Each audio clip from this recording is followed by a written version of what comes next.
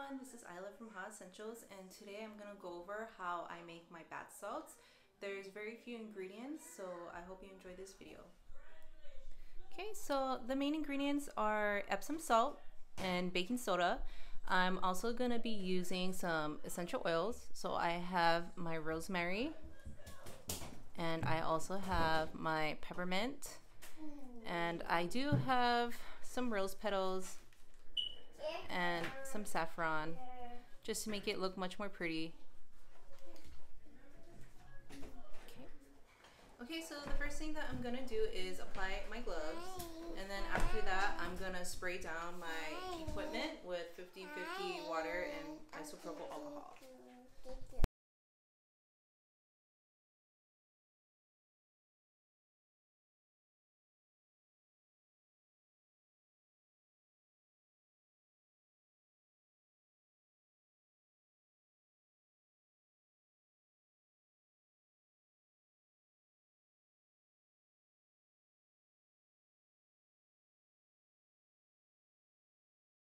Okay, so right now I'm measuring out the ingredients. I'm gonna put a few cups of Epsom salt. Sorry, it's kind of like a hard piece in here, so I'm trying to break it down. But as you can see, I have a measuring cup. It's been clean. I'm gonna put three cups in there.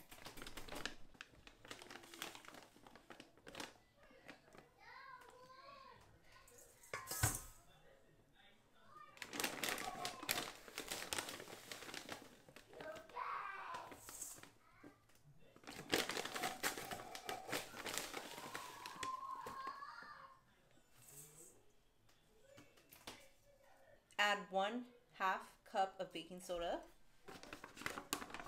approximately.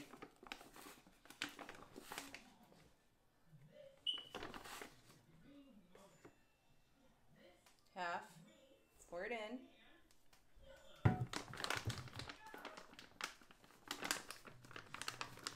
I also forgot to mention that for my oil, I am going to use Tamanu oil. Sorry about that. So I'm just going to pour a little bit inside of the mixture just so I can wet my ingredients and they can kind of just stay clumps and nice together.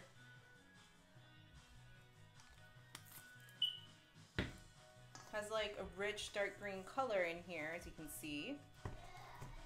I'm also to add my rosemary essential oil. However many drops you want to put.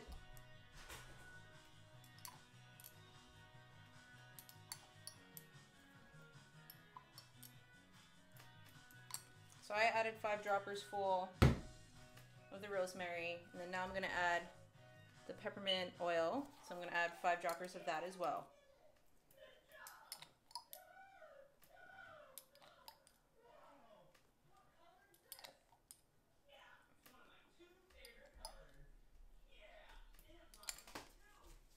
Okay, I'm gonna add some saffron, dried flowers. Okay,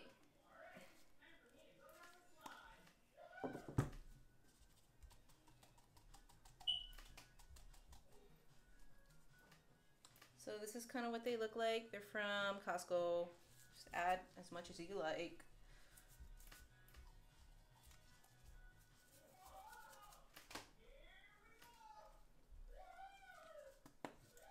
I'm to add a few of these rose petals. Just make sure that if you do add it in that it might, it might create a clog in your tub. Totally up to you.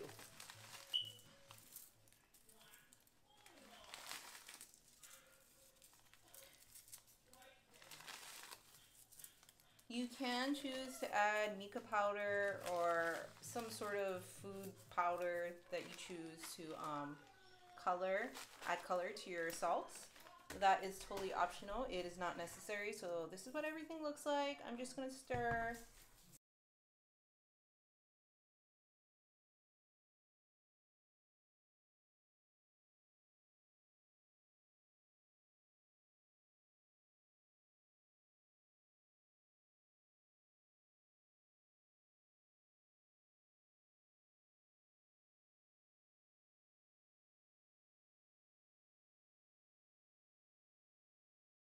So the next step is to bag your bath salts. These are the bags that I'm going to be using. They do have a, um, a Ziploc closure at the very top. I will link these to the box down below. So I am just beginning to put the bath salts inside of the bag. Fill it up to the max.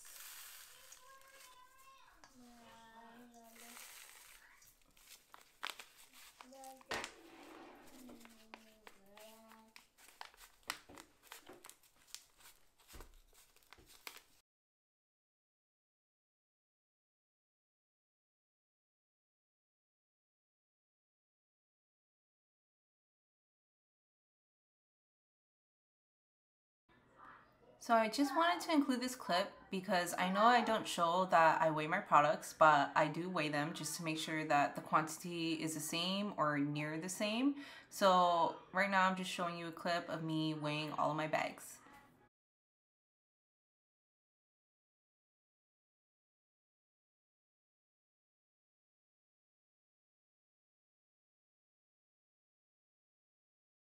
Um, now that all of the bath salts are all packaged, I am getting ready to print my labels, or I'm printing them right now.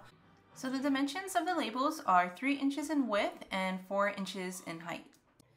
Okay, so my labels for the front part of my packaging is finally done.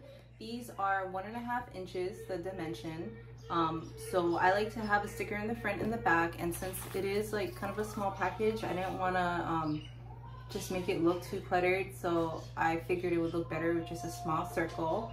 So it's basically just um, a shorter version of my name which is um, Ha Essentials. So it's a capital H and E. And um, this is what the label looks like in the back.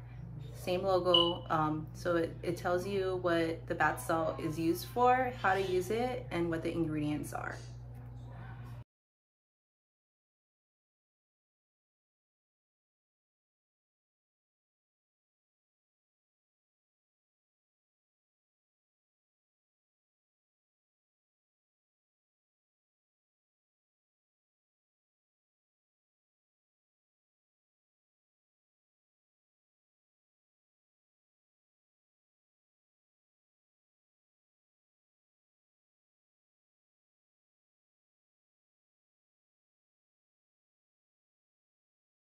So while I was adding my labels to my packaging, I did think to myself that it would have been so much more easier to apply the labels before I had added my bath salts in there. So for anyone that is, you know, deciding to make some bath salts, I would suggest that you put your labels on first so that when you put your labels on, you know, it's not all crinkled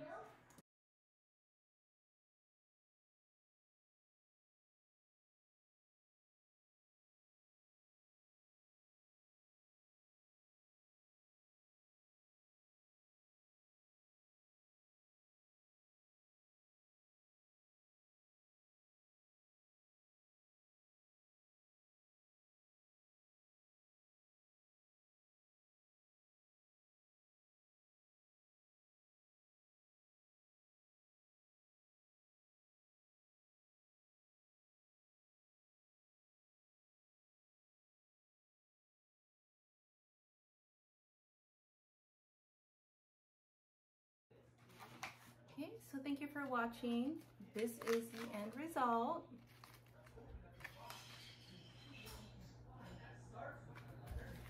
Really simple to make. So I hope you enjoyed this video and um, stay tuned for next week.